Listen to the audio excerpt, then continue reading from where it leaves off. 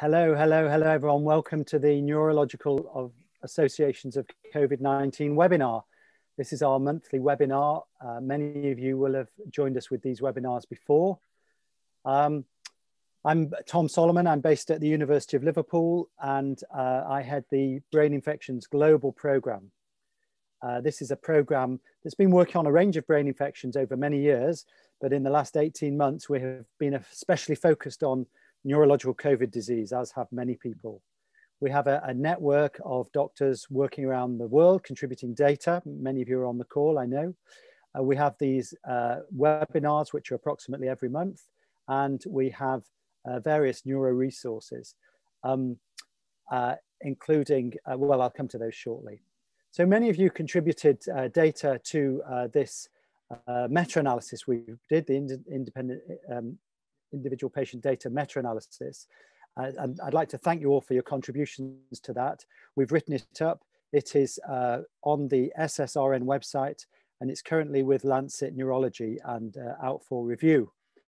And maybe we'll actually, uh, we've done some presentations from, from that, uh, those data, but maybe we'll uh, do more of a presentation on one of these webinars. So Brain Infections Global has thousands of members around the world in various countries. Uh, as well as research, we also do teaching and education. We're supported by the Global Health Network. Uh, so these are the tabs for some of the teaching and educational aspects, including the free online NeuroID e-learning modules and the Neurological Infectious Diseases course. We are back. Yes, we did a virtual course at the beginning of this year, which was last year's course, the 2020 course. And in 2021, we're going to be doing it in person in July. Uh, registration is filling up rapidly. So if you're interested in, in coming on the course, please register as soon as you can. Also, I wanted to give you advance notice of the encephalitis conference, which is planned for December 2021 at the Royal College of Physicians in London. And again, uh, for people who need help getting to that, there are bursaries to help you come across for that. And the Society, the Encephalitis Society also provides seed funding grants. Okay, but back to our COVID neuro webinars. So the purpose is to bring the global community working on COVID neuro together. Even if they work in the same department and have, never met each other until they've uh, joined one of these webinars, which happened just as we were getting ready for today. And we want to better understand the neurological presentations, complications, long-term effects and disease mechanisms of COVID-19. Keep up to date with the latest research and then immediately after this one hour webinar, we have the WHO Clinical Exchange Network. So uh, today's webinar, we have Karolina Skagen uh, from uh, Oslo uh, University Hospital in Norway. And then Vanshika Singh is going to do the very popular JNNP blog, giving us the highlights of the recent publications. And then Dr. Thomas Thiele, who's one of the co-authors on the New England Journal of Medicine paper on vaccine-induced thrombotic thrombocytopenia. And of course, today it's all about these thrombotic events following vaccination. And just to point out that if you're seeing these thrombotic events and want to capture the data, we have uh, freely available data capture forms, which you can get through registering here on the Brain Infections Global website. And we may pull all the data together, just like we did for the other meta-analysis. Anyway, without further ado, let me introduce Karolina Skagen, who's going to talk about vaccine-induced immune thrombotic thrombocytopenia causing a severe form of cerebral venous thrombosis with high fatality rate. These are the cases from Norway, some of the earliest cases to report. So Karolina, I'll stop sharing and if you want to share your screen and tell us what you've been seeing. Thank you. Yeah, thank you so much for the invitation to speak. Uh, I'm very happy to be part of this uh, seminar. Um, I work as a consultant neurologist uh, at the vascular neurology unit at Oslo University Hospital. And uh, I will present these five cases of vaccine-induced uh, immune thrombotic thrombocytopenia that we saw in February, March. Um, this, as you might be aware, these uh, cases have already been published and uh, in the New England Journal on 9th of April um, with the findings of the PF4 antibodies and also the term, uh, introducing the term vaccine-induced thrombotic thrombocytopenia. And it's obviously a huge joint effort with, of course, the uh, hematologists having key roles Um, and uh, also with all the, the professional groups involved uh, in the care of these patients uh, have also contributed to the publications uh, with the neurosurgeon intensivists. So just um, for background, I will just point out that uh, Norway is a very small country in North Europe and uh, the entire population um, counts 5.4 million. Um, and at our um, uh, our country, the vaccination program started end of like late December 2020 with the, uh, the Pfizer vaccine. Um, and then um, Moderna was added in mid-January. And the first uh, vaccinations with the AstraZeneca started the second week of February. It was mainly distributed to healthcare workers, uh, which were under 65 years old. Uh, and the total doses uh, in this five week period before it was halted was just over 132,000.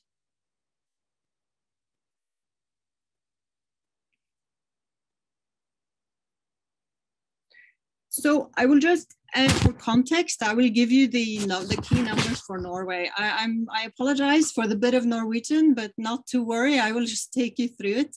Uh, these are the numbers from yesterday. They're updated every day at one o'clock. And uh, left uh, top, it's the number of tested people in the country, and um, we are testing uh, quite a lot, I would say, unspecifically, but compared to our neighboring country, we're doing a lot of uh, COVID testing. Uh, and uh, the amount of positive tests are just shy of 120,000. Uh, we have over 4,000 people admitted to hospital now with COVID. Intensive care has just over 800 patients and the death toll is 774 now, the COVID related deaths. Uh, so it makes sense for us to compare ourselves to our neighbors, Denmark and Sweden, as we have quite comparable cultures and health system um, and genetics. So uh, we we see that Norway is doing relatively um, well compared to our neighbors. We the population is comparable to the Danish, um, and Sweden is twice the population um, almost of Sweden and uh, sorry of Denmark and Norway, and the number of deaths are. Um, uh, are uh, smaller in Norway compared to Sweden. But as you might be aware, Sweden had a totally different approach to the pandemic in the start, and they they saw a quickly increasing number of infections. And before we move on to our patients that I will present, I'd just like to show you the uh, bar chart on the right-hand side, uh, which shows the age uh, group, the uh, distribution of deaths according to age group. So on the x-axis is the number of deaths and it's the age group on the y-axis. And the five uh, cases we encountered were in the lower age groups here. So in this two week period from 8th of February to 11th of March, we had five healthcare workers aged 32 to 55 years admitted to our center. Uh, they all presented with the dramatic uh, clinic with the cerebrovenous thrombosis, they had intracerebral hemorrhages and uh, um, severe thrombocytopenia. And the common denominator for these patients were that they had all received the vaccine seven to days uh, previous, seven to 10 days previous. Uh, I'll show you this table just for some main values. We'll not go through all the results, um, but just to give you an idea, the lowest platelet counts, the third row down, um, uh, demonstrates this. Um, case number four is the only surviving case. Uh, and her lowest uh, platelet number was 70. Um, also, just like to point out the D-dimer, not surprisingly, it's a bit high for all the patients. Um, INR and APTT was, however, normal. Uh, and fibrinogen is the last one I'll comment on in the middle of the table there, uh, was just a bit low for case two, but otherwise uh, normal for the others. Uh, so the common denominator, as I said, was the very high levels of antibodies to these PF4 complexes, um, much higher than what you would uh, see in a normal HIT patient. Um, uh, and the graph on the right is the one uh, uh, cut from the published paper in New England, where we have the quantified optical densities on the y-axis and the, the presence of, uh, of antibodies in the charts. And importantly, on the functional testing, which was key for these patients and in the management further on, is that they uh, these the platelets were clearly activated also in the absence of heparin. So uh, this was uh, um, uh, we interpreted this condition as a heparin independent uh, thrombocytopenia. Some patient data I will take you through also. Um, all the cases we, we saw were female. Um, and the age range we've commented on, they were previously well, except uh, three patients had pollen allergy and one patient was uh, hypertensive and was medicated for it. Um, the days from vaccination between seven and 10, and uh, all the patients except case four, who's the only surviving patients, had uh, ecchymosis and petechiae.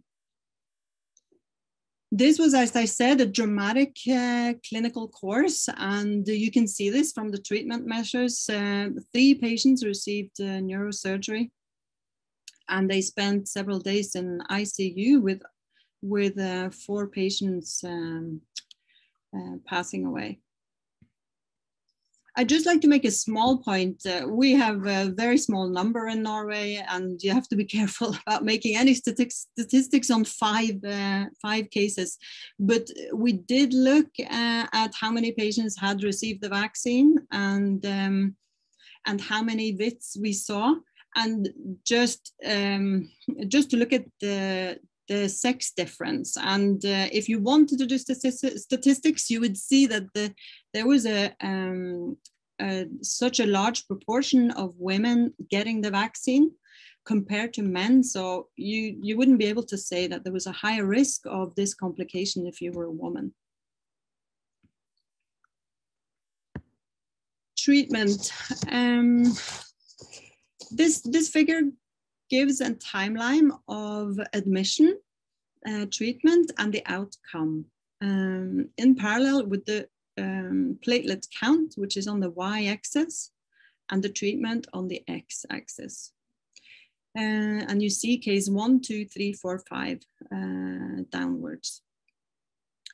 So after receiving the, the antibody results, we were uh, faced with quite a difficult decision in terms of what um, anticoagulant to administer. And these patients had been started on low molecular weight heparin. Um, but as we know, this can trigger the mechanism uh, and make it worse. We didn't at this point know what, uh, uh, uh what this clinical entity was.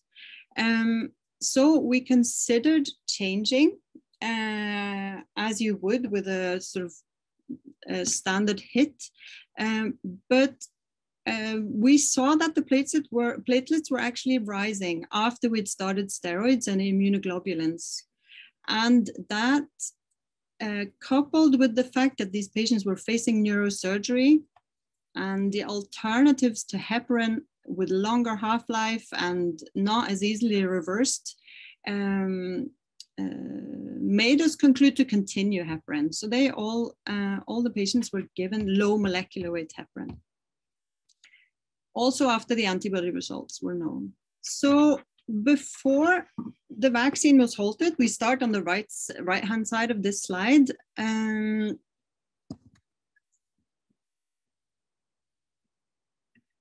we see that 132,000 patients were given the vaccine in this five week period.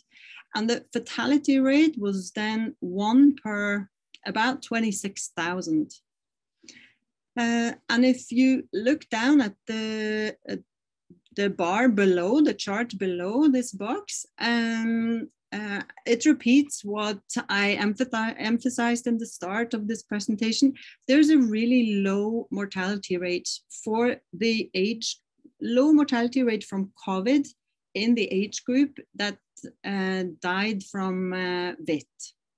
So if you consider Norway in isolation, the risk benefit of the vaccine uh, for this age, age group be became quite challenging. Uh, and there was um, a big ethical uh, debate in the media also um, about what what should be the the course forward. Uh, should we continue to administer the vaccine? Uh, and on 10th of May, just uh, seven eight days ago, this expert panel uh, they had been given the task with um, advising on the further strategy of the vaccine, and they recommended that the AstraZeneca vaccine be taken out of the Norwegian National Vaccine Program. And also the same with the Johnson vaccine. So after these five cases, we have not seen any more patients uh, with this complication.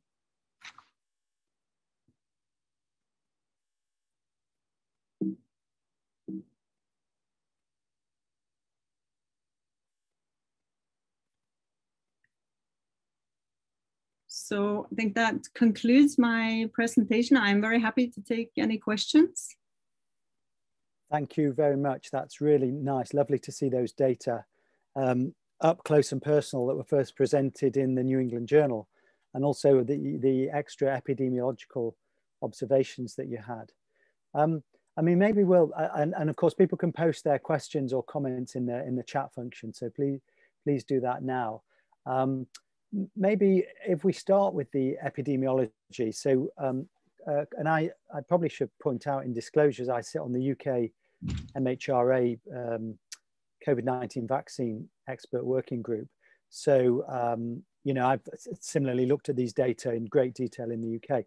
Uh, clearly, the younger, the younger age group, the, the risk of the vaccine versus the benefit of the vaccine um, suggests that uh, the, the vaccine is not helpful. But you concluded that for all patient, all people, including the older age group. So I just wanted to get your reflections on that, and also on the thought that, of course, the, the benefit versus the risk. Uh, the benefit of vaccination is clearly depends how much disease there is at, at, any particular time, how much virus there is circulating. So if hmm. we take the UK, we currently have this Indian strain, which is causing rates to go up. And that therefore really means you sort of have to reconsider so just it'd be good to get your thoughts on that, on the older age group, and, and also whether you take account of how much virus is circulating. Hmm. Yeah, just to comment on the age group, um, the, this was, uh, as I said, just given to the under 65s. Um, so um, the um, we, it was first given to the over 65s here. And then in second round, it was changed because of the complications in the older. So um, they have done this um, uh, expert panel have done a recommendation based on what we saw in isolation in Norway. So they have been quite narrow in their conclusions, which I think we can maybe allow ourselves to do um, uh, so they have said they don't recommend it for any age group because we have an alternative vaccine. And they have added a statement saying if the if the disease, the viral, uh, the virus goes up, the cases with positive uh, tests go up, or if we uh, there was a delay in the alternative vaccines, we might have to reconsider. Yeah, yeah, Thank you very much. Okay, lots of good questions coming in. So um, I'll put some of these to you. First of all, um, from Elizabeth Sell, can you tell us how many COVID patients had neurological thrombotic events as a result of COVID infection only? So this is without the vaccine. And uh, Jean-Michel Herod has a related question. Uh, Jean-Michel says they've seen patients with mild and asymptomatic COVID-19 with high D-dimers and high risk of thrombosis almost three weeks after COVID infection. So could some of these VIT cases be uh, due to patients who'd previously been infected with the virus, uh, not vaccine related? What, what are your thoughts hmm. on that? Well, we did, all these patients were checked for COVID-19 uh, antibodies and they, they had not had the disease. So I, I don't, it's not likely that it was from a previous infection.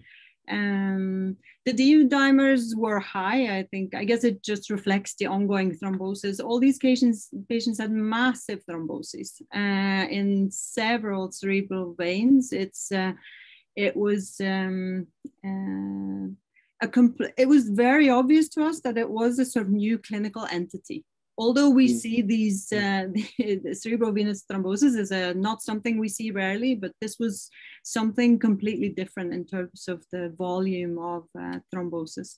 Okay. Um, mm. in terms of uh, the, I think your, I can't remember how many of your five died, um, but it, it was quite high, wasn't it?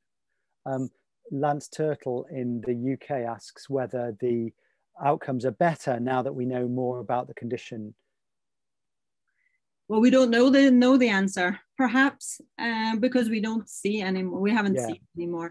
Uh, we have. There's obviously the one surviving patient. She came in with uh, her platelets weren't as low as the others, um, and she was given the immunoglobulins and the steroids earlier. Uh, we have discussed this at length, but the, these patients, when uh, when they were admitted to our center, they were in really life-threatening uh, condition. They all had yeah. focal neurological signs, massive hemorrhage, and um, and were had reduced level of consciousness with bleeding both in the brain parenchyma and also in the subarachnoid space. So so I feel very unsure that we could have uh, you, you can't say for certain, but I don't think this was reversible, even with yeah. treatment. Mm. We'll hear, I think, in, we'll hear from Thomas Thiele shortly about the German experience, and he may be able to answer some of these questions because in Germany they're continuing to use the vaccine in some groups as we are in the UK. I think I can say that in the UK the case fatality rate has come down. Mm. Um, one partly because we are maybe we know a bit more what we're doing with treatment but mm. also i think the milder cases are being reported which perhaps mm. were not initially spotted you know as is often the case it's the severe severe disease is how you pick up a new syndrome and then you yeah. start looking and realizing that there's actually a bit more of it around uh, that, that, than you thought. Uh, Tore Beggy uh, says um, he noted that, uh, that the only survivor did not take hormones. Do you have any thoughts about this? Yeah, uh, we've also discussed this. Um, the conclusion is uh, we it's difficult to create a causal mechanism for the for the hormone uh, therapy. It's it's uh, it's um, we know it's a risk factor for thrombosis, but for the immune um, condition, uh, it's difficult. So okay there are more questions and what I propose is that we come back to these uh, when we're going to we're to hear from our JNNP blogger and then we're going to hear from Thomas and then at the end we'll get everyone on to answer some more of these questions as a team. So for the moment, Karolina, we'll let you go and uh, if you want to turn your camera on and your sh start sharing your screen. Uh, this is so Vanshika is actually a, a, a sub editor and staff writer with The Wire Science. So a journalist. It's wonderful to have you joining us but a journalist who is interested in uh, neuroscience, psychiatry, uh, doing a DPhil in psychiatry at Oxford starting in October 2021. Um, so let's hear the latest from what's been happening out there through the JNNP blog. Thank you, Vanshika. Thank you for that introduction, John. Uh, so as you all know that we have a weekly update at the JNNP blog where we document uh, the weekly updates in, in this aspect of neurology and neuropsychiatry of COVID-19. And uh, though uh, this manifestation, the neurological and neuropsychiatric manifestations have now been very well cemented uh, with the vast amount of literature that we have, one of the critical questions that has been doing the rounds is whether uh, this infection is directly invading into the CNS uh, and uh, whether and probing that has been one of the key uh, highlights that we have uh, uh, gone over in the past month. And in that respect, uh, work by Thakur and colleagues has uh, really given us good insights about uh, what is really happening at the neuropathological level and whether that has implication in understanding about the route of infection. So in this particular, in this particular study, they uh, analyzed 41 COVID-19 patients uh, in, uh, in the autopsy brain, and they observed that there were some key neuropathological uh, uh, identifiers like uh, hypoxic and ischemic changes, which are both global and focal. Uh, these were also uh, supplemented with large and small infarcts, which were hemorrhagic.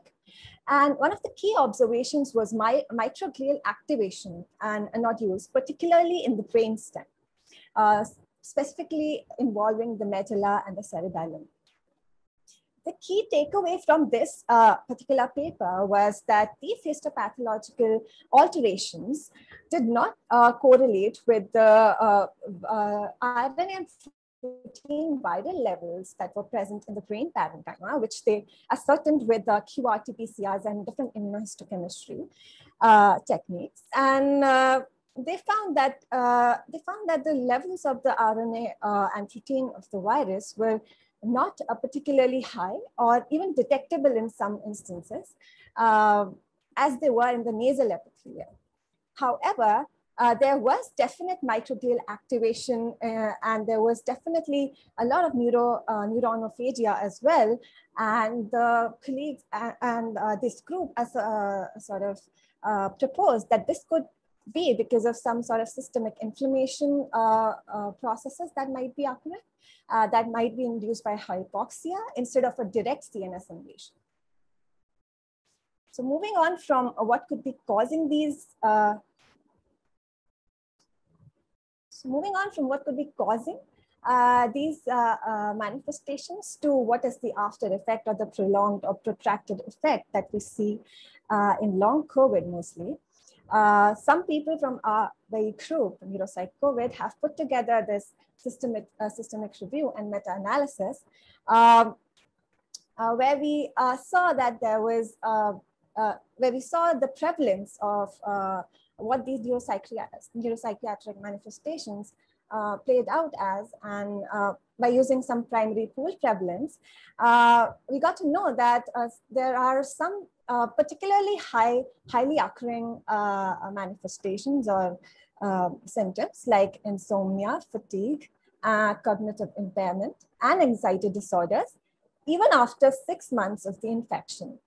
And one of the key takeaways from this uh, meta-analysis was that, was that these protracted uh, uh, you know, symptoms was not limited to the post-acute phase or even recovery from severe COVID-19 only. So that was not very much dependent on uh, uh, the time point after which we were seeing because even uh, within uh, 12 weeks and even after 12 weeks, the uh, symptoms were protracted.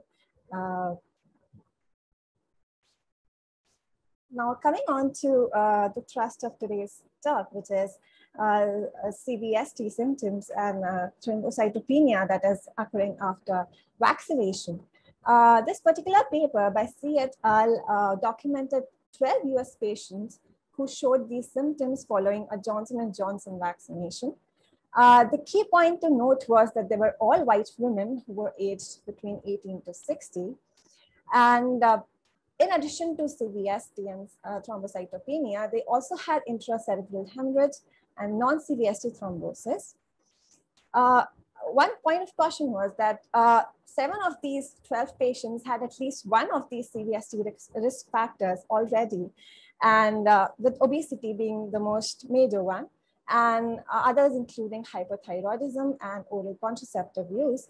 And some of the mechanisms that have been implicated or were being proposed was uh, that there are some antibodies uh, because of the heparin, uh, because of some constituents of this vaccine uh, that could be uh, inducing uh, antibodies against the platelets. But that is a very uh, uh, that is something that has uh, has to be taken uh, with caution and needs further studies. And we also must understand that the frequency of these uh, cases has been very low. For example, uh, six cases up to April 12th with this vaccine were noted amongst um, around 7 million doses that had been administered. So the critical question definitely is whether there is indeed, if any, causal relationship between uh, this vaccination and uh, these rare symptoms and these rare events that we are witnessing. Uh, so for this, another uh, work by some people from the group have uh, gone on to uh, gone on to study that these adverse events may be very rare, but they're not very well supported by any definitive causal association between the adverse events and the vaccination. Uh, and this was ascertained and uh, being probed by using different causality analysis criteria like Bradford Hill or WHO. And uh, well, there has to be more uh, analysis that we would uh, require to definitely ascertain that, that, that is where the narrative is now uh, really shifted. So that's all from our end. And we hope that you guys are tuned to this amazing team. And I've been glad that I could be part and I'm learning a lot uh, from this. And if anybody is interested to join the team, uh, please do email and reach out to us on Twitter. Thank you so much. Brilliant, Vanshika. Thank you very much for that. Um, we, some real food for thought there and um, a marked bias towards presentations, uh, towards papers from people who are in our team, including Kiran Thakur, who, who uh, led that autopsy study. So that either means that this is really where everything's happening, or it means that we are rather too nepotistic. Um, but you probably, Vanshika, didn't even know Kiran Thakur is on the call. So um, I suspect it's just the random nature uh, of choosing good papers. But thank you very much for that. And we, I think we'll be, I suspect we'll be discussing some of those at the end. So stick around. And meanwhile, sure. Thomas Thiele, if you want to uh, turn your camera on and start uh, sharing your screen. It's great to have Thomas with, with us. He is a hematologist not a neurologist, and he's at the uh, Greifswald University. I'm not sure I've said that correctly. Greifswald? How do you say it, Thomas? I think it's Greifswald, but that's the very German pronunciation at that time. You, Greifswald, you should know. And I actually had to, I did look up where it was. And for those who, who are interested, it's right up at the top of Germany on the coast, quite near the border with Poland, I think. Yeah, it's it? just uh, uh, clo very close to the Baltic Sea. So yeah, yeah, fantastic. Mm. So um, he's worked on platelet biology, immunology, and platelet transfusions for more than 10 years and heads the hemostasis service at the University Hospital. And he also is going to present uh, data that were published in the New England Journal of Medicine. Thank you very much, Thomas. Thank you very much, uh, Tom. Okay. So I can begin. So my topic will be the same as uh, uh, our Norwegian uh, colleagues just introduced, which is vaccine-induced thrombotic thrombocytopenia. And I would like to start with uh, the clinical observation, which we got to know uh, at the end of February, uh, beginning of March 21, so this year, because in Germany, we began uh, to uh, vaccinate people with the AstraZeneca vaccine uh, with the beginning of this year. So it's uh, it was pretty early and um, it was uh, uh, told also through the media that several cases of unusual thrombotic events um, occurred after vaccination with the AstraZeneca vaccine. And, and it was uh, uh, written that those patients developed thrombocytopenia, cerebral vein thrombosis, and also uh, splanchnicus vein thrombosis about uh, four to 20 days after vaccination. And um, we uh, uh, got aware of some of these cases, which were from Austria and Germany. And Sabine Eichinger from Austria, which is a, a close friend uh, of our group, um, came to us with a patient she was dealing with. And uh, this patient had a very severe thrombocytopenia on the one hand, but on the other hand, it uh, uh, this patient had uh, thrombosis. So this is the index case one you can uh, appreciate here. And that was a, a thrombosis uh, in the arteria, by the way. And um, the thrombocyte uh, platelets were about uh, 13,000, so pretty low, but also this patient had a cere cerebral uh, vein thrombosis at the same time. So unusual thrombosis, but also thrombocytopenia. And this is uh, a clinical picture, which is pretty much familiar with a, a syndrome we know and we are dealing with for about 30 years now. Um, and um, the second step here, you should appreciate that the timing of these symptoms after vaccination is pretty close, always about five to 20 days after the vaccination. So we are dealing with heparin-induced thrombocytopenia, and I would like to explain to you what is meant by this disease, because it's a pretty rare syndrome, which we see and which we diagnose in our laboratory um, after people get uh, treated with heparin, uh, one of the most used anticoagulants worldwide. So um, it all starts with the administration of uh, heparin and uh, heparin forms a complex with a protein which comes from the platelets, which is PF4, platelet factor 4, which is in the alpha granules of the platelets and it is released upon platelet activation. So this protein forms a complex together with heparin. And this leads to the uh, binding of antibodies which can recognize these PF4 heparin complexes.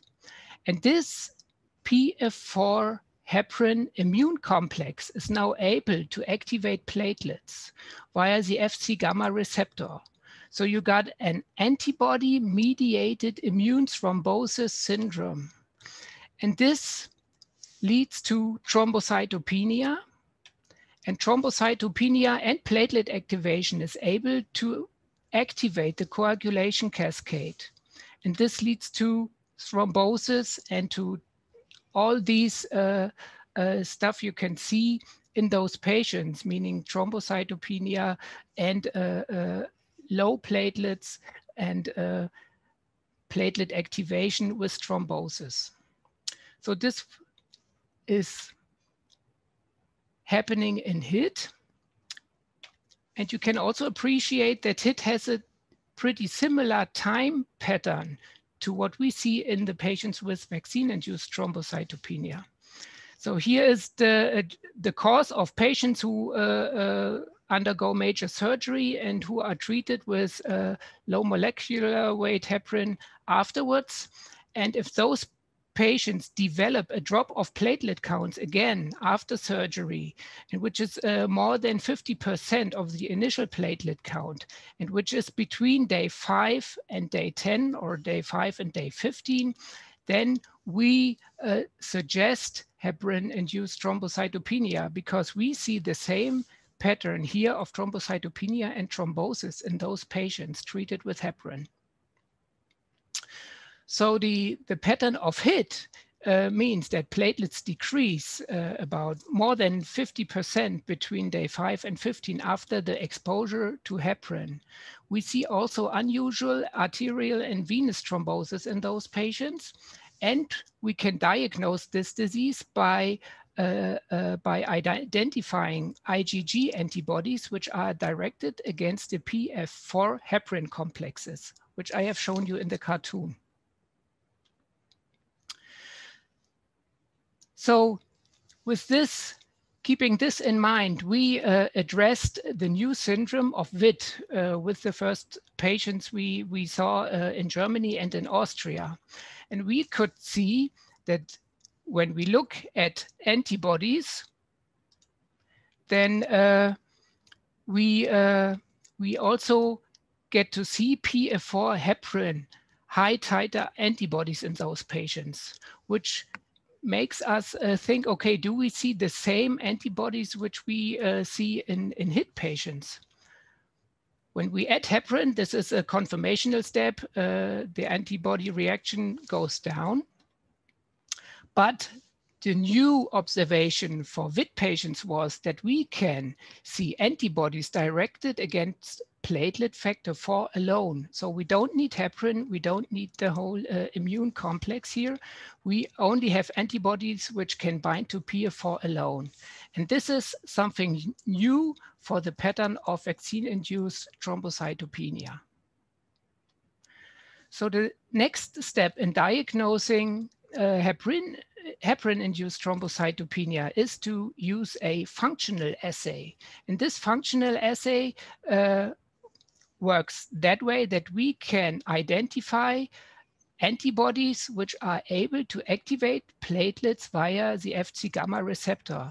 And this is a pretty old test published by Professor Greinacher in 1991 already, where you can appreciate some cloudy uh, uh, uh, plate uh, holes here and also some very clear ones. And uh, the clear ones uh, indicate platelet activation because there you can see the light going through the tube without any disturbance. So this is pretty much what we see in HIT positive patients here with platelets which are activated by the antibodies uh, against PF4 immune complexes. And we performed the same test now for the VIT patients. And uh, you can appreciate that buffer alone is able, so buffer alone and VIT-sera are able to activate platelets. But when we add a little bit of heparin, uh, the reaction goes down. So what you, you see here is the reaction time where we see the platelets being activated in the in the tube and um, a very long time means that this is a, a negative test in a very short time in uh, minutes means that we have a strong platelet activation uh, with a very, very early signal. And when we now add platelet factor 4 alone, we see a very, very, very strong platelet activation in those patients. You can appreciate that between uh, um, the start of the reaction and 10 minutes, almost every patient uh, is positive in this platelet activation assay. When we use unfractionated heparin as a confirmation step, it's also a negative uh, uh, uh picture, but this is only a, a, a negative control. When we use IVIG, just right here in the tube, we can also inhibit this reaction. And this means that the VIT pattern consists of thrombocytopenia and thrombosis 4 to 20 days after vaccination uh, against COVID-19 with the adenoviral vector-based vaccines, and we can uh, talk about on that later. We have strongly positive PF4 heparin IgG ELISA tests, so immunoassays which can detect those antibodies. And they, those can get uh, positive also with heparin together, which may uh, misdirect you uh, in a way that you may think of a HIT pattern here. But this is not the case because we can see that those uh, IgG uh, is able to uh, activate platelets in presence of PF4 alone. So we don't need heparin. And this was published also for the uh, uh, AstraZeneca vaccines and uh, also for the uh, Johnson vaccine. So the treatment uh, very early for those those patients is the administration of IVIG, very high dose, one gram per kilogram on two consecutive days. And uh, this treatment is able to inhibit or to block the platelet activation mechanism. So you reduce the risk of thrombosis here just by uh, blocking the PETO mechanism. And the anticoagulation with non-heparin anticoagulant is also uh, uh, proposed for those patients because we see some cross reaction also with, uh, with heparin, uh, which might be that uh, heparin can be a bad idea to use. However, it is not clear at that stage whether you can use heparin uh, without uh, uh danger in those patients. It is recommended to use a non-heparin anticoagulant, which can be argatroban, it can be with the DOACs, uh, and also with uh, danaparoid, for example. This has been published very early and right away with our uh, laboratory studies uh, in, uh, from the German Society of Thrombosis and Hemostasis. So we now know that these uh, cases are not over just by giving one dose IVIG. Um, um, we have, uh, I'm, I'm, I know one case uh, with a severe uh, sinus vein thrombosis um, and who had a prolonged course of VIT. And you uh, may see here the platelet count course and the platelets you can see all uh, they go down again after a first course of IVIG treatment and we had to use at least uh, three further doses of IVIG to stabilize the platelet count. And we also added uh, uh, uh corticosteroids uh, at the end. And this to, to uh, uh, in our opinion, was able to resolve this problem. So it must not be over after one dose of IVIG, and it, uh, I would recommend to uh, clearly monitor the platelet courses uh, and the platelet counts of those patients, uh, even after uh, um, after discharge.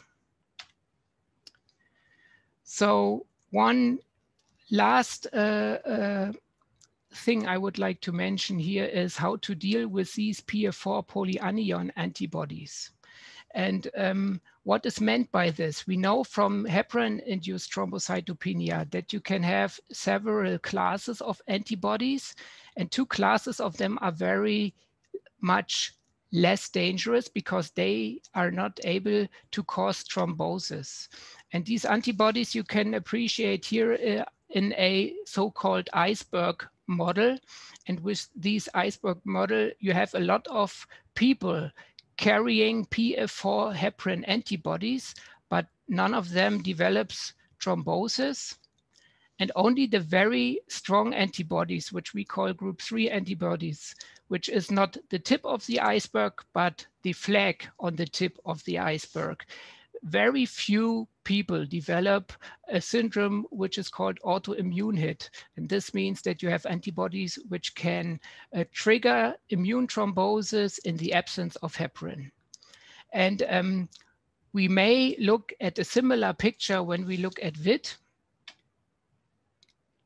And um, what you need to know is that these PF4 antibodies can occur after, uh, during inflammation, after trauma, and after uh, cardiac surgery and major surgery uh, increases the risk of a positive PF4 heparin IgG antibody, but most of these antibodies are not dangerous.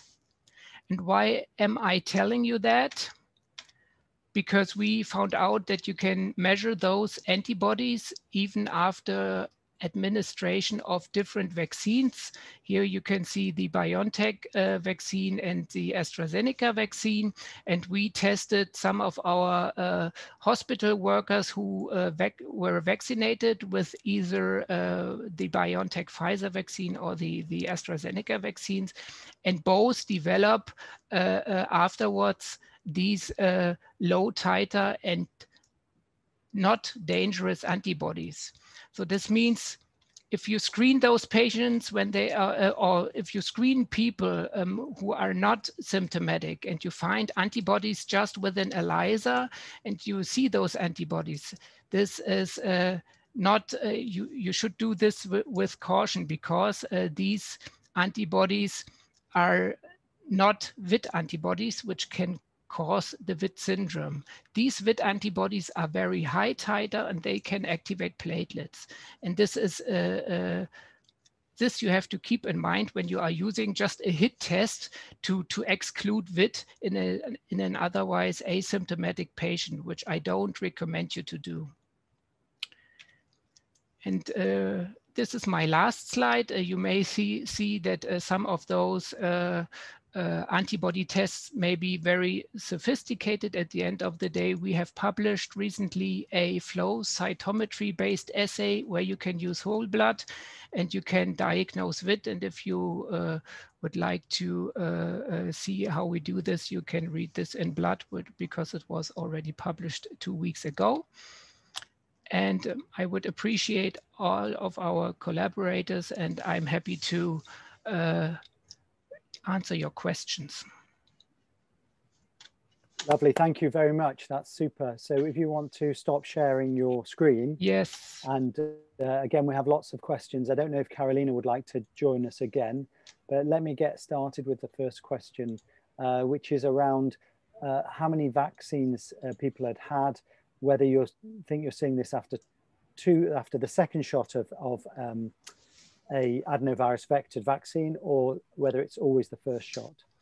So the patients we were uh, uh, we got aware of uh, have all developed the syndrome after the first uh, yeah. shot because uh, uh, we have changed our schedule from initially about 28 days after the first vaccination. We now wait for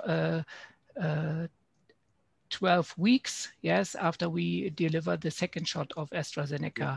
And this is just now the time where we begin to uh, vaccinate people for the second time here. So um, I cannot uh, comment on, on, on the risk yeah. for the second so shot here. The question uh, came, uh, um, Karolina, I think all of yours were first shot as well. Yeah. Um, but uh, the questions come from Ella Maysami. And in fact, Ella, we have in the UK, we've seen a small number of second shots as well, but mostly first shots. Libby Van Tonder, a friend of ours, a neurosurgeon, wants to just ask about the timing of decompressive neurosurgery uh, for either of you, um, whether you'd like to comment on that. And maybe also to comment on uh, one issue we've had in, in the UK is clearly we, I think most people feel that giving platelets makes things worse. Um, but if platelets are very low and someone's going to neurosurgery, we sort of have this feeling that you might just be able to give them to give cover for an hour or two during the neurosurgery. Do you have, Karolina, do you have um, experience of that?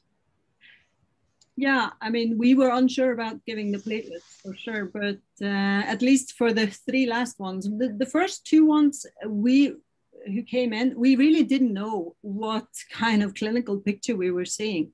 Uh, and when on the Friday and the news came out of this possible link, that's when we started treating with uh, steroids and uh, and uh, immunoglobulins. Um, the platelets, yeah, for sure. I mean, with a HIT picture, you would be very hesitant, but uh, these were uh, life-threatening bleeds. So I guess that's yeah. The exception, and we just had to give it uh, before surgery. Mm. Thomas is nodding along, agreeing to that. I think. Um, um, yes. We've had in the go ahead thomas yeah just very very briefly i it is not recommended to to to give in such a prothrombotic situation platelets however if you have to do decompressive surgery which is a life-saving uh, mm-hmm. operation at this time point when the decision is made um, I would recommend to start surgery and when it starts bleeding, just to administer platelets as well. Because what we see is, on the one hand, a strong platelet activation and thrombosis, but on the other hand, those people can also de develop severe bleeding symptoms at the same time, which for me seems that we have additional uh, an additional phenomenon here that people might start to bleed. So to avoid platelets whenever you can would be, I think, the the right way, but if you have no other choice, you should give them. Yeah, thanks. Um, David Nicholl, who is a neurologist in Birmingham uh, and uh, always likes to throw in a little bit of controversy uh, in relation to the discussion of benefit versus risk. He's in the chat, he's pointing us to the figures uh, for, of COVID cases in Norway and is, is suggesting that following the pausing of the AZ vaccine in many countries, in Norway, the COVID cases overall went up. Um, were you aware of that, Karolina? I mean, this is he's done a quick and dirty. I think it's a Google search, but is that the feeling? In, in the no, he's absolutely right. it did, but also restrictions. Uh, uh, the, the, we were hit by the wave anyway. I think so. Okay. I'm, I'm not sure you can you can um, Okay. You a cautious. So he's, he, he's not quick and dirty then, he's right on this occasion. Now, Kiran Thakur says, uh, do you know whether there was delay in diagnosis from symptom onset uh, in your cases? This is quite common in CV, CVT. anyone want to comment on that? I can tell you that most of the patients have severe headache, and this is an, uh, a quite a new onset of those headaches. So uh, I don't think that we have uh, missed the diagnosis for a very long time in, in most of them. Hmm. Uh, just quickly, I, I'm afraid we maybe they did come. A few of our, ours, at least three, came late, and they one of them actually went to A and E and was sent home again uh, with these petechiae. And again, it was they came early, so we didn't really know about this complication. Um, okay. So I think now, hopefully, we would have picked them up, but yeah, certainly a bit late. Um, a question about disease mechanisms from uh, Mady Hornig. Should we be looking at uh, netosis as part of this? So we have looked, we have already uh, looked on netosis and uh, there is a lot of netosis in, in these patients. We can see that uh, when you uh, uh, look at the thrombi, there are a lot of leukocytes within the thrombi. That's the first one. And then we can also uh, can see this in a mouse model. We have already done this and uh, we see severe netosis in these uh, kind of platelet activation and mechanism. For, for the neurologists who, uh, when they did hematology hundreds of years ago, netosis doesn't exist. Do you want to remind people or educate people in two sentences what netosis is? So netosis is a mechanism which is promoted by uh, neutrophils, and these uh, cells can uh, extra uh, uh, or they can uh, release DNA, and this is creating a net right within the circulation very basically. And uh, this is also uh, forming the the background where platelets can get activated. So uh, it is a prothrombotic mechanism with uh, uh, with leukocytes together with platelets. Okay we're, we're going to move on in a second. I just wanted to ask you both in the uk we're we're, we're writing up our series of patients. We, we, we wrote up the first few uh, published in the New England Journal, but we're writing up more of the CVSTs now, and we're having ferocious discussions about case definitions, and in particular, uh, whether we're happy with the platelet cutoff being 150, and also um, what about patients who uh, have a platelet drop, but it's still higher than 150. I think you said, Thomas, uh, five days is, is the typical time period for a platelet drop after heparin. But have you got any thoughts about how we handle those numbers in terms of case definitions? So I would be uh, uh, I would be hesitant to use a too narrow window for thrombocytopenia definitions here because we don't know exactly or we don't know this uh, disease for a very long time. And um, what we also have seen in our laboratory are some patients with normal platelet counts, but also with uh, strong VIT antibodies and with a thrombosis. So at the end of the day, I would not uh, recommend uh, to use a very low platelet count as a cutoff and to be rather wide in your definition. And Thank just just, just one one remark, yeah. one very quick remark. Hello, uh, because if you have a drop of platelets and your initial platelet count is about uh, 400,000 somewhere uh, at these levels, you can have a 50% drop and also still have normal platelet counts. So you don't know the pre-existing values and you need to keep that in mind too. Of course, yeah. Okay, so we're about to move over, but I'll just summarize the last few comments and questions as we move across to the next session of the day, um, which is, uh, there's a question from Matt Jones about have we seen lots of extracranial hemorrhage or only intracerebral? I think mostly intracerebral. Would you guys nod and agree with that? Yep, okay. Um, David Nicholl, quick and dirty, uh, wants to do a neurosurgical trial because some of the neurosurgeons are very nervous, understandably, about doing surgery with uh, thrombocytopenia. But when you look at these patients, you look at their scans, there's so much hemorrhage and so much swelling I, I, think if you don't let the steam out, the patient's going to end up in the in the morgue. So I, I think we have to encourage our neurosurgeons to be brave. Um, okay, let's just see if there's anything else critical here. Uh, there's discussion in the chat about headaches. I'll just encourage people to look at that because we are at this moment going to thank Thomas and Karolina uh, for some wonderful presentations and discussion. So thank you very much for that.